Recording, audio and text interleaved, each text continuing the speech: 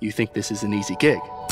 Vinh Long, the charming and handsome administrative assistant to Caledon's president Yasmin Fayyad, and the charismatic face between her office and the rest of the student body. Kahuna's got a social calendar like a TikTok influencer. Secrecy and power come naturally to Vinh. He's the leader of Abraxas, a secret society and student art enclave on campus. Those guys really get around. Known for influential connections and access to exclusive information. Even if some members would like him ousted, he remains firmly on the throne. Undergrads, am I right?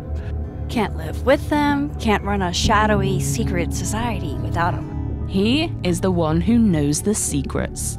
He's the one the members answer to. He wields effortless social dominance. As well as his dashing looks and dazzling charm, Vinh also utilizes a razor sharp wit.